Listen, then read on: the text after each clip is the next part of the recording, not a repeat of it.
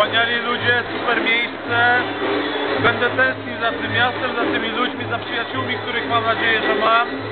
I myślę, że mam. I chyba wrócę jeszcze kiedyś do Iranu, a mam nadzieję, że oni również mnie odwiedzą w Warszawie. Spotkaliśmy się na takiej pożegnalnej kolacji, chociaż się widzimy jeszcze jutro. A co będzie dalej, zobaczymy. Ponad 3 miesiące już jeżdżę i bardzo mi się to podoba. A plus, smile.